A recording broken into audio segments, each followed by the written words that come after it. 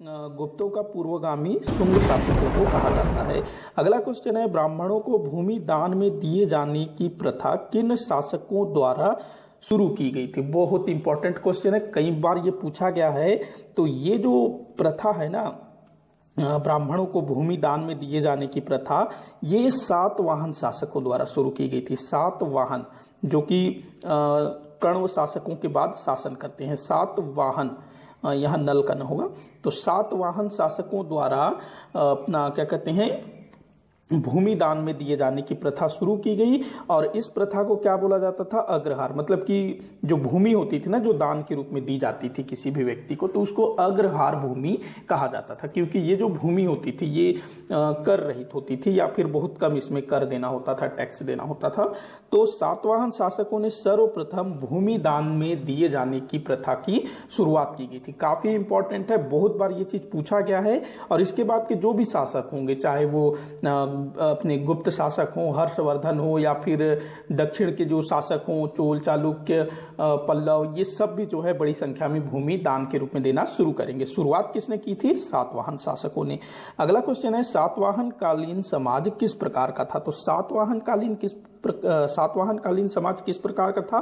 तो मात्र सत्तात्मक था। ध्यान रखना मात्र सत्तात्मक जितने भी समाज हमने देखा है ना, अधिकतर सब पितृ सत्तात्मक है, लेकिन सातवाहन समाज के संबंध में जो जानकारी प्राप्त होती है, उससे इतिहासकारों का मानना है कि सातवाहन कालीन समाज मात्र सत्तात्मक रहा होगा। अगला क्वेश्चन है, किस किन शासकों द्वारा शीशे के सिक्के चलाए गए थे? किन शासकों ने शीशे के सिक्के चलाए थे? तो सातवाहन शासकों द्वारा शीशे के सिक्के चलाए गए थे। बहुत बार ये भी पूछा गया है नॉर्मली क्या होता है? सोने, चांदी, तांबे, इन चीज़ के सिक्के चल, सिक्के चलाए जाते थे। लेकिन जो सातवाहन शासक थे, वो जो है शीशे शीशा का सिक्का चलाते थे। इसके अलावा इन्होंने जो है पोटीन का सिक्का भी चलाया था।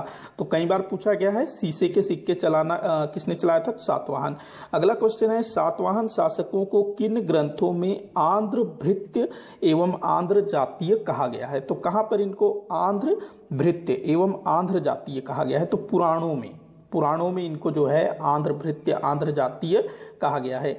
अगला क्वेश्चन देखते हैं सातवाहन वंश का संस्थापक कौन था? तो ये भी कई बार पूछा गया है, सिमुख ये सातवाहन वंश का संस्थापक था, सिमुख। अगला क्वेश्चन है, सातवाहन सातवाहन वंश का शासक कौन था जिसने दो अश्वमेध यज्ञ और एक राजसूय यज्ञ किया था? जैसे मैंने बताया कि पुष्यमित्र सुंग, उसने दो बार अश्वमेध यज्ञ किया था, ठीक उसी प्रकार से सातवाहन वंश का भी कोई शासक है जिसने दो अश्वमेध यज्ञ और एक राजसूय यज्ञ किया था। तो कौन था वो? नाम याद रखेंगे, सात करणी प्रथम। सात करणी प्रथम, इसने दो अश्वमेध यज्ञ और एक राजसूय यज्ञ किया था। राजसूय यज्ञ, अश्वमेध यज्ञ। अगला क्वेश्चन देखते हैं दक्षिणा पथपति दक्षिणा पथपति अप्रतिहत चक्र सातवाहन कालीन किस शासक की उपाधि थी? तो ये दो उपाधियाँ हैं दक्षिणा पथपति और अप्रतिहत चक्र। ये किसकी उपाधि थी? तो वही सातकर्णी प्रथम जिसने दो अश्वमेध यज्ञ और एक राजस्वी यज्ञ किया था। तो सातकर्णी प्रथम की ये दोनों उपाधियाँ थी। अगला क्वेश्चन है सातकर्णी प्रथम द्वारा जारी किए गए किस सिक्के से उसके मालव प्रदेश पर अधिकार स्पष्ट होता है। तो इसके सिक्कों से पता चलता है कि इसका मालव प्रदेश पर अधिकार था तो किस सिक्के द्वारा? तो इसका एक प्रकार का सिक्का होता था श्रीमांत। श्रीमांत नहीं श्री सात श्री सात श्री सात नाम का सिक्का जो कि मालव प्रदेश में प्राप्त हुआ है, जो किसका था? सात करणी प्रथम का। तो इससे पता चलता है कि मालव क्षेत्र में सातवाहन सात करणी प्रथम का अधिकार रहा होगा। अगला क्वेश्चन है सातवाहन शासकों की राजधानी थी। तो इनकी राजधानी क्या थी? तो नाम याद रखेंगे, प्रतिष्ठान। प्रतिष्ठान, ये जो है ना, गोदावरी नदी के तट पर स्थित है। प्रतिष्ठान, इसी को पैठन भी बोला जाता है, पैठन। पैठन अथवा प्रतिष्ठान, जो कि गोदावरी नदी के तट पर स्थित है। अगला क्वेश्चन देखते हैं। पेरिपल्स ऑफ़ इरिथेरियन सी के अनुसार सातकर्णी प्रथम के समय कौन से बंदरगाह अंतरराष्ट्रीय व्यापार के लिए सुरक्षित थे? तो इस समय अंतरराष्ट्रीय व्यापार भी काफ़ी फल फूल रहा था। और एक ग्रंथ है पेरिपल्स ऑफ़ इरिथेरियन सी इसका लेखक कौन है अभी तक? जानकारी नहीं मिल पाई है, अज्ञात है इसका लेखक, लेकिन पता चलता है कि ये कोई यूनानी लेखक रहा होगा और ये जो है समुद्री यात्राएँ किया करता था। समुद्री यात्रा करने में एक्सपर्ट था इसने अपने ग्रंथ पेरिपल्स ऑफ़ इरिथेरियन सी में भारत के समुद्र तटों का अच्छे से वर्णन किया है, विशेष करके जो बंदरगाह हैं और वहाँ से किन के साथ व्यापार होता है, किन चीज़ों का व्यापार होता है तो उन सब के विषय में काफ़ी कुछ लिखा है। तो इसके अनुसार सातवाहन सातकर्णी प्रथम के समय कौन से बंदरगाह अंतर्राष्ट्रीय व्यापार के लिए सुरक्षित थे? तो दो स्थानों का नाम याद रखेंगे। पहला तो सोपारा सुपारा याद रखना, दूसरा याद रखेंगे कल्याण। तो ये दो जो है प्रमुख बंदरगाह थे अंतर्राष्ट्रीय व्यापार के लिए काफ़ी जाने जाते थे। अगला क्वेश्चन है सातवाहन कालीन किस शासक द्वारा प्राकृत भाषा में गाथा सप्तसती नामक ग्रंथ की रचना की गई थी? तो ये काफ़ी पूछा गया क्वेश्चन है ये भी। तो हाल उस राजा का नाम था हाल। काफ़ी मतलब ऐसे ही याद रखना है आपको, हाल। इतना ही है उसका नाम।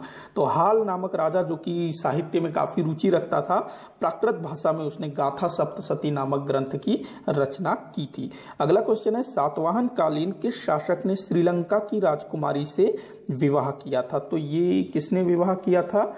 तो श्रीलंका की राजधानी मतलब श्रीलंका की जो राजकुमारी थी, उसका नाम था लीलावती। राजकुमारी का नाम भी आप लोगों को याद रखना है। लीलावती उसका नाम था और किसने उससे विवाह किया था? तो हाल हाल वही जिसने गाथा सप्तशती लिखा था। तो ध्यान रखना, ये भी पूछा गया है।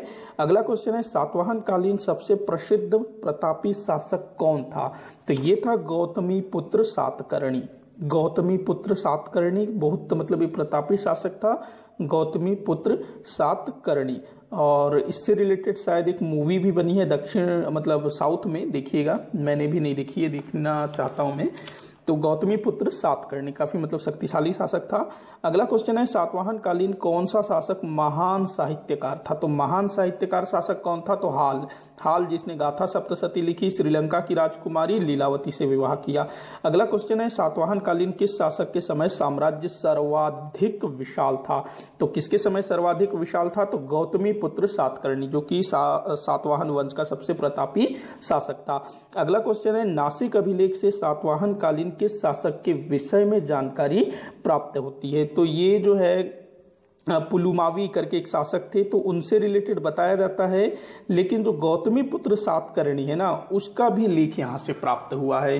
तो इसको अधिकतर पुलुमावी देता है और इसकी माता थी बलश्री तो उसके नाम से भी जाना जाता है। तो याद रखेंगे, अगला क्वेश्चन है, शून्यवाद के संस्थापक एवं माध्यमिक संप्रदाय के प्रवर्तक नागार्जुन सातवाहन कालीन के शासक के समकालीन थे। नागार्जुन, जिन्होंने शून्यवाद की खोज की थी तो ये किस सातवाहन कालीन शासक के समकालीन थे? आपको ये बताना है। तो ये गौतमी पुत्र सात सातकर्णी के समकालीन थे। अगला क्वेश्चन है, किस सातवाहन शासक ने शक महाछत्रप रुद्रदामन की पुत्री से विवाह किया था? ये जो शक थे ना तो वो भी इस समय भारत के अंदर घुस चुके थे और पश्चिमोत्तर भारत, गुजरात हो गया, महाराष्ट्र हो गया, वहाँ कई सारे क्षेत्रों पर अधिकार करके बैठे थे। तो इन्हीं शकों में एक शासक था रुद्रदामन जिसका एक अभिलेख भी मिलता है गुजरात से जूनागढ़ अभिलेख। तो ये जो रुद्रदामन था इसने अपनी पुत्री का विवाह किसी सातवाहन शासक से किया था। तो उसका आप लोगों को नाम बताना है। तो वो कौन था? वशिष्ठी पुत्र पुलुमावी। वशिष्ठी पुत्र पुलुमावी। इसने जो है इस, इसकी पुत्री से विवाह किया था। वशिष्ठी पुत्र पुलुमावी एक मिनट हाँ। हाँ वशिष्ठी पुत्र पुलुमावी। अगला क्वेश्चन देखते हैं, सातवाहन शासकों की राजकीय भाषा क्या थी? तो इनकी राजकीय भाषा क्या थी? प्राकृत थी। ये भी आप लोगों को याद रखना है, और जो गाथा सप्तशती हाल के द्वारा लिखी गई थी, वो इसी प्राकृत भाषा में लिखी गई थी। विशेष करके ना, इनकी जो प्राकृत भाषा थी ना, वो महाराष्ट्रियन प्राकृत थी। महाराष्ट्रियन प्राकृत और लिपि पूछा जाता है तो ब्राह्मी लिपि। अगला क्वेश्चन है, पुराणों के अनुसार सातवाहनों ने कितने वर्ष तक शासन किया था? तो पुराणों के अनुसार इन्होंने 300 वर्ष तक शासन किया था। कितने वर्ष? 300 वर्ष तक पुराणों के अनुसार।